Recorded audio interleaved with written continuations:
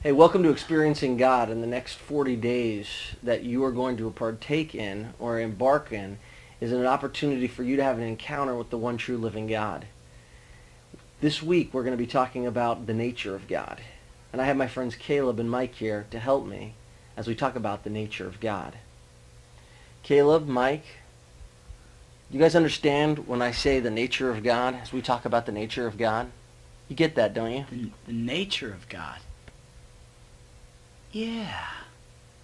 I got it. The nature of God.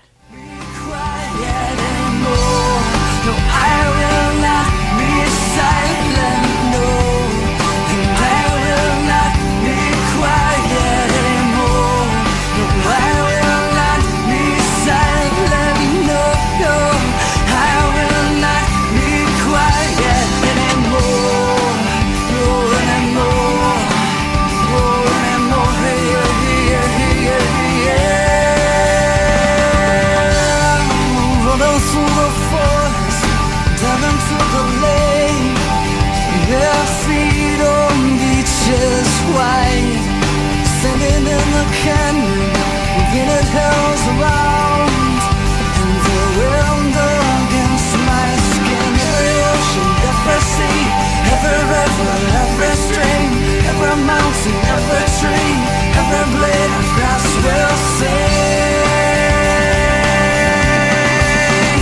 Make a joyful noise to the Lord of the uh, uh, earth. Make a joyful noise to the Lord of the earth. La la yeah, la la yeah.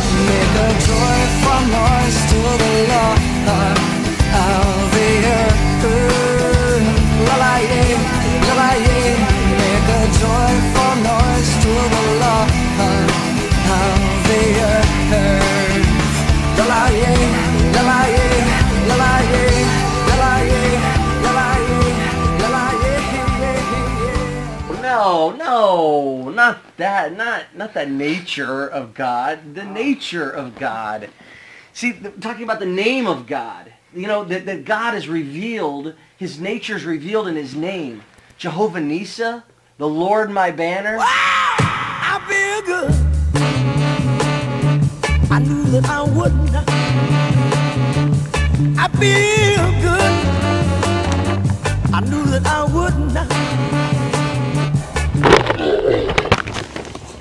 Jehovah Jireh, the God that provides. You get it now? The nature of God. Yeah. Banner. Gyra.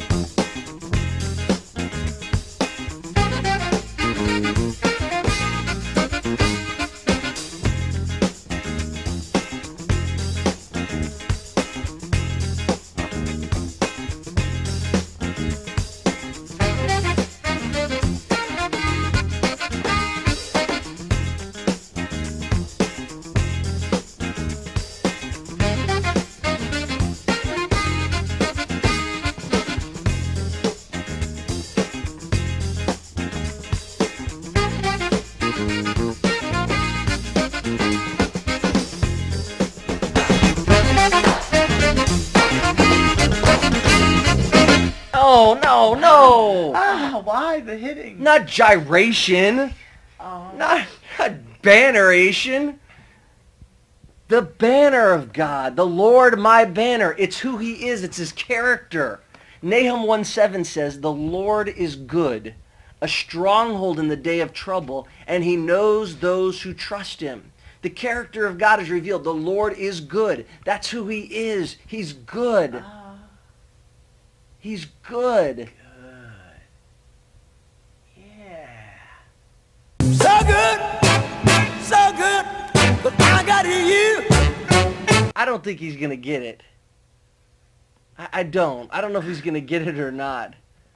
But I hope that you get it as you start to look at these scripture verses and as we start to prepare um, for this 40 days together.